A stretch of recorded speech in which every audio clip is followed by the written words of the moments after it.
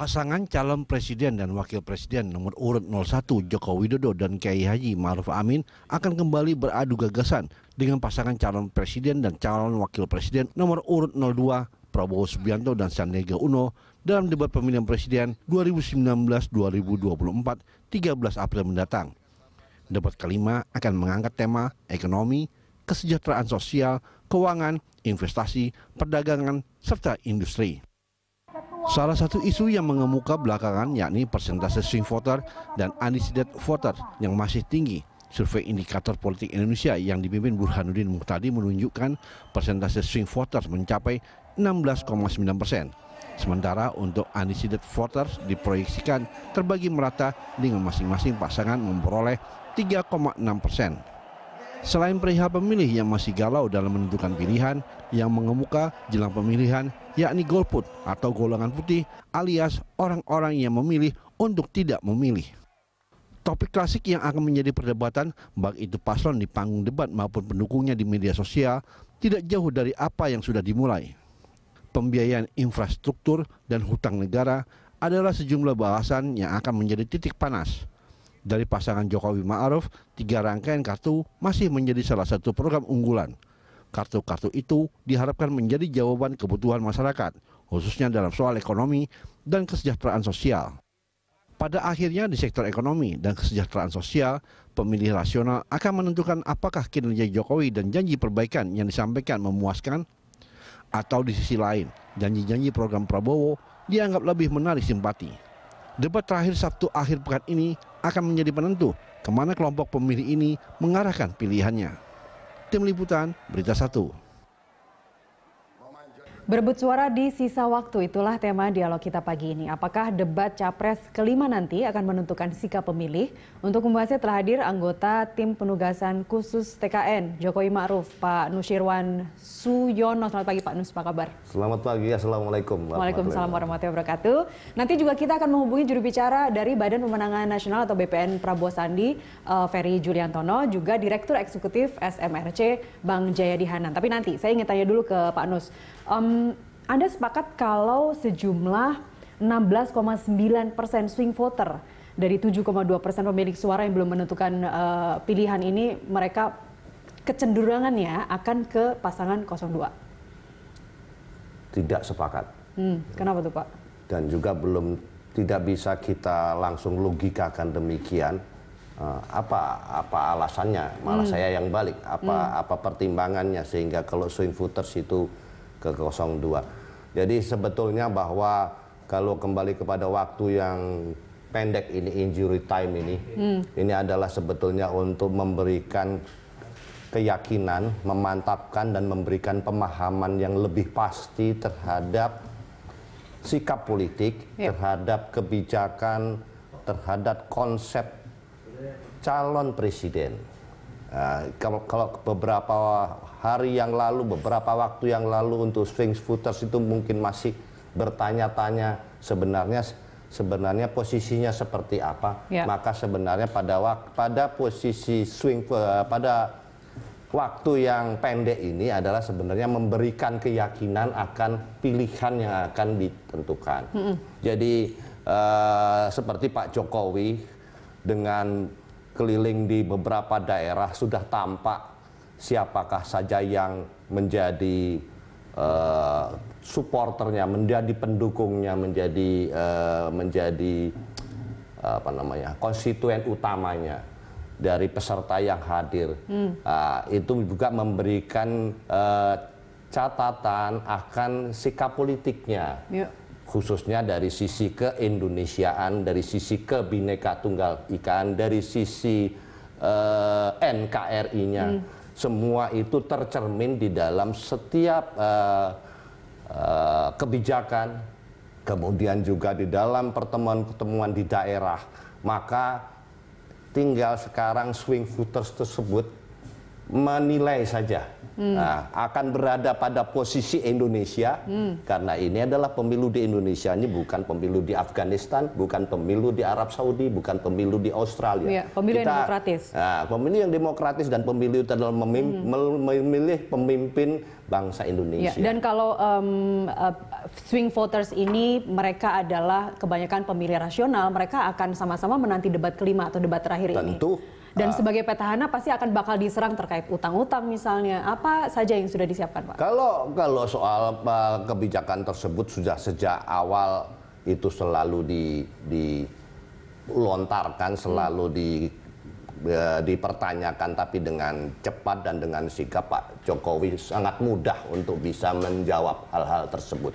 Karena bagaimanapun eh, semua proses itu bisa terlihat kinerjanya, bisa dilihat eh, track recordnya. Ya.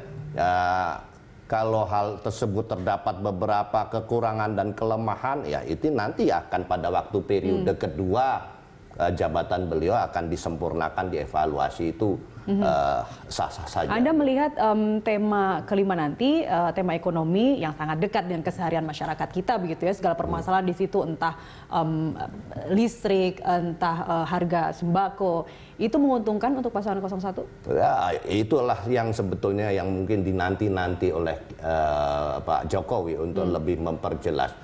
Jadi seperti nanti mungkin Pak Ferry yang akan menyampaikan berkali-kali dikatakan janjinya akan eh, eh, pertumbuhan ekonomi akan sebesar 7 sama saja semua itu dunia pun baru saja IMF mengeluarkan eh, apa namanya catatan bahwa tahun ini hanya dunia itu hanya pertumbuhan ekonominya hanya 3,2 Indonesia 5,2 tidak ada Artinya- sesuatu hal yang sifatnya yang menurut mereka dikatakan ini janji ini janji. Artinya Semua se- 5,2 itu kita harus sudah ber... em, saat ini berjalan dalam kondisi seperti itu. Tapi apakah mungkin nanti akan dibawa ke angka 7 persen?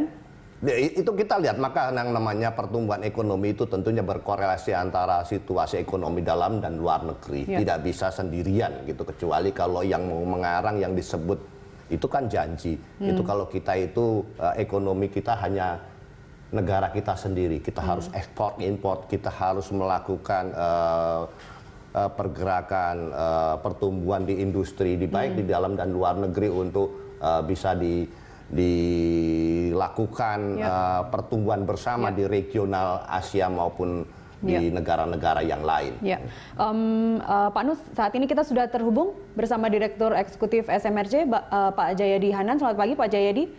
Selamat pagi, Mbak. Ya, em, Pak Jayadi, oke, kalau kita bicara eh, swing voter sekarang yang lumayan, eh, SMRC mengatakan 16,9 persen dari eh, pemilik suara 7,2 persen begitu. Em, apakah apa yang dicari oleh para pemilih rasional ini yang Anda katakan? Mereka tuh sebenarnya nyari apaan sih sampai untuk menentukan pilih satu atau dua? Ah, yang mereka cari antara lain ada di debat kelima, yaitu isu-isu langsung terkait dengan kehidupan sehari-hari di bidang ekonomi.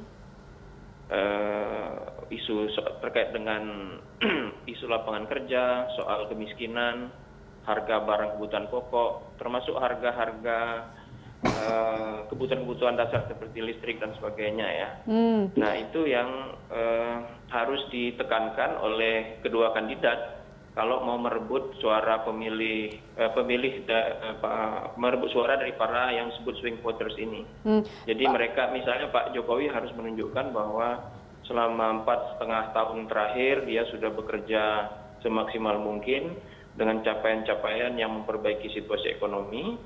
Nah pertanyaannya kemudian eh, mengapa misalnya ekonomi cuma tumbuh 5% itu harus mampu dijelaskan secara rasional kepada mereka. Lalu apa rencana ke depan yang lebih baik dari sekarang? Untuk, terutama untuk pengentasan kemiskinan, untuk penciptaan lapangan kerja, dan bagaimana caranya memastikan agar harga-harga barang kebutuhan pokok itu bisa terjangkau. Baik. Sebaliknya di kubu 02 ya tentu akan menunjukkan kelemahan-kelemahan, em, tapi eh, saya kira tidak cukup hanya dengan menunjukkan kelemahan, harus juga menunjukkan solusi apa yang bisa lebih baik. Misalnya kalau 02 sering me- menunjukkan kelemahan pembangunan infrastruktur karena misalnya dia dianggap menguntungkan segelintir orang dan eh, menggunakan uang eh, dari hutang untuk itu, maka alternatifnya apa dari 02 gitu. Demikian juga dengan misalnya eh, apa yang bisa dilakukan untuk menjaga barang-barang kebutuhan pokok itu terjangkau. Eh, misalnya kan ada 02 mengatakan akan menurunkan harga daging sampai berapa persen gitu. Itu Ya. harus dijelaskan secara rasional apa mungkin apa tidak misalnya. Dari mana Eh, misalnya kalau kebijakan itu memerlukan pendanaan dari mana uangnya akan diperoleh dan seterusnya. Kalau kalau hal-hal yang sifatnya rasional dan solusi-solusi kebijakan ke depan itu disampaikan, saya kira itu akan eh, cukup berpengaruh bagi para pemilih yang masih undecided atau masih swing sampai sekarang. Menurut Anda Pak Jayadi, apa yang harus dihindari? Jawaban-jawaban seperti apa yang harus dihindari oleh 02? Maksud saya 01? 01 eh, harus menghindari jawaban-jawaban yang sifatnya kalau istilah anak muda ngeles gitu. Hmm. ngeles saja. Jadi harus ada penjelasan rasional mengapa misalnya janji pertumbuhan 7% ekonomi itu tidak bisa dicapai sekarang ini. Penjelasannya apa gitu. Lalu Ya. eh, apa bagaimana menjelaskan bahwa sebetulnya ekonomi kita itu baik-baik saja gitu. Tidak tidak sedang dalam situasi darurat seperti yang digambarkan oleh 02 misalnya. Hmm. Ya, sebaliknya juga begitu 02 harus punya punya penjelasan yang cukup apa namanya rasional gitu misalnya eh, kan 02 sering di dalam kampanye terbuka yang kita dengar mengatakan eh, banyak perusahaan-perusahaan BUMN kita yang dirampok atau apa misalnya begitu Ya. lalu apa itu korelasinya dengan kehidupan ekonomi masyarakat apa Ya. yang akan eh, apa namanya bagaimana caranya supaya misalnya tidak dirampok dan sebagainya dan seterusnya. Jadi isu-isu seperti itu harus dijelaskan. Kalau tidak itu kan masih membuat bingung sekarang. Termasuk seperti yang saya sebut tadi. Di 02 misalnya mengatakan akan menurunkan harga daging sampai kalau nggak salah 70% gitu. Yang kita dengar di media ya. Ya. Nah, itu Termasuk rasional. tarif dasar listrik juga. Tarif tarif dasar listrik juga misalnya. Nah, betulkah misalnya di zaman Pak Jokowi ini tarif dasar listrik terus naik dan memberatkan orang? Hmm. Apakah eh, dia justru meringankan eh, masyarakat secara umum dan sebagainya? Jadi harus Hmm. berbicara di, di tataran yang betul-betul konkret Ya. terkait. Pak Jayadi, Saya kira ya. Pak Jayadi dari dari penjelasan Anda terkesan eh, bahwa debat kelima nanti sepertinya pasangan 01 bakal jadi apa ya dalam tanda kutip bulan-bulanan begitu. Karena bagaimana lagi ini petahana dan di depan mata sudah ada harga daging yang terus naik. Kemarin dolar juga sempat menyentuh ke level 15.000, tarif listrik juga terus naik. Em, benar seperti itu.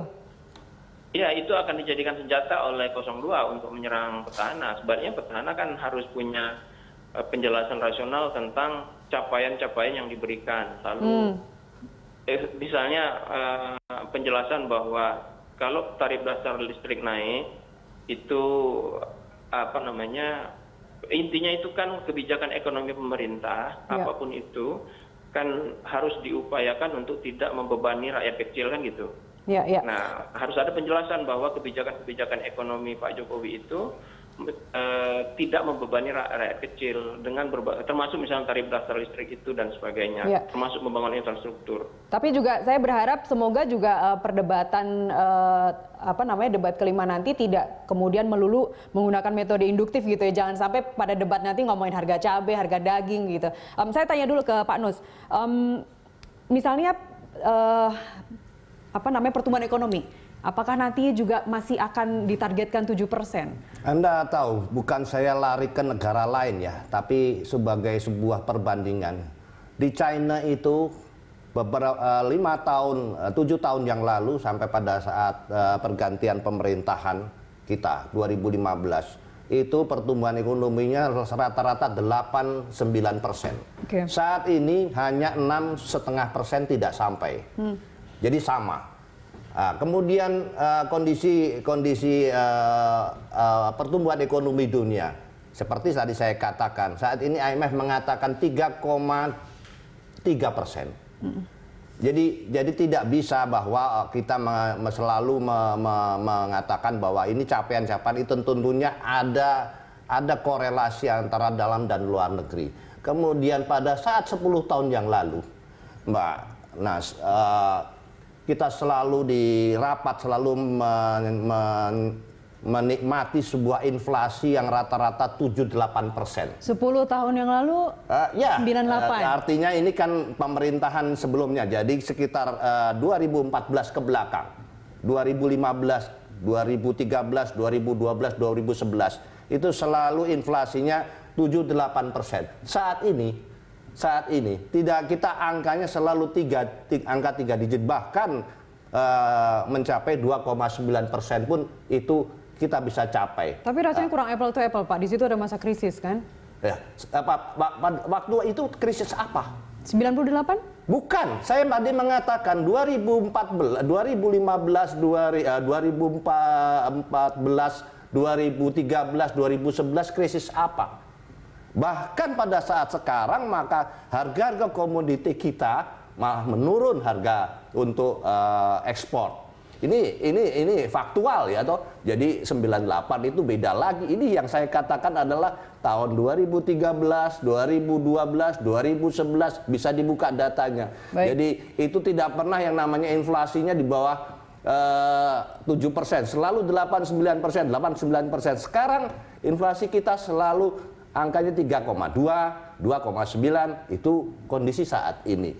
Ma- Maka pertumbuhan ekonomi China pun juga yang tadi saya katakan, yang tadinya 89 sekarang hanya enam setengah persen, 6,4 persen. Maka kalau dituntut tadi seperti janjinya katanya 7 persen, itu kan kalau negara itu hidup sendiri, tidak bisa ada ada ada uh, per, pertimbangan antara industri, kemudian juga sektor pertanian di dalam negerinya, kondisi iklim, Ya. kemudian dan sebagainya itu itu banyak sekali variabel yang yang mempengaruhi angka yang katanya janjinya 7%. Memangnya janji kayak orang bercinta kan tidak mungkin. Ini adalah urusannya terlalu terlalu tidak Baik. terlalu sederhana ya. Oke, kita boleh lanjutkan desain berikutnya Pak. Eh, Pak Jayadi Hanan juga eh, ditahan dulu teleponnya. Kita kembali usai jeda pariwara berikut tetap bersama kami.